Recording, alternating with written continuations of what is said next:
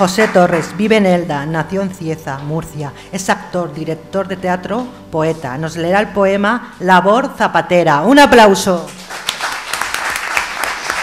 Buenas noches.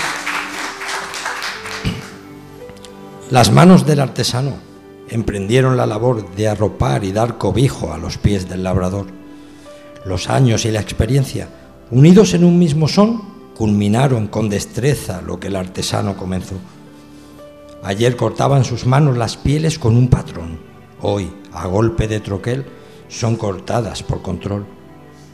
Una vez las piezas cortadas y figuradas con precisión, las dobladoras afanosas dan al puzzle la composición. Siguen las aparadoras fieles máquinas costureras, pie y manos pasan horas, punto por punto sin espera. Con una horma en sus manos, es ahora el centrador quien con arte y con destreza dan la forma a esta labor.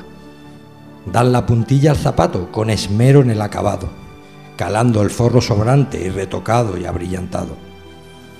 Lástima que hoy en día nos enseñe esta labor. En pasar esta jornada, ¿quién te dará el esplendor?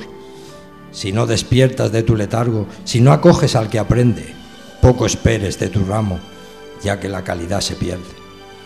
Aquel que calzó al labrador tuvo en su día un maestro. Si nadie nace enseñado, ¿quién fabricará el nuestro? Gracias. Bravo, bravo.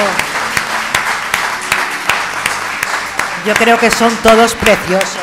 Estamos conociendo un poco más nuestro valle, que a veces lo tenemos olvidado. Y yo creo que aunque esté un poquito de esfuerzo, yo creo que los poetas tenemos que escribir de todo. A veces nos cuesta. A mí me cuesta también, a lo mejor a un poeta. Es lo que a mí más me cuesta. Y sin embargo, lo intentamos.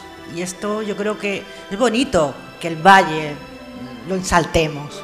Creo que sí.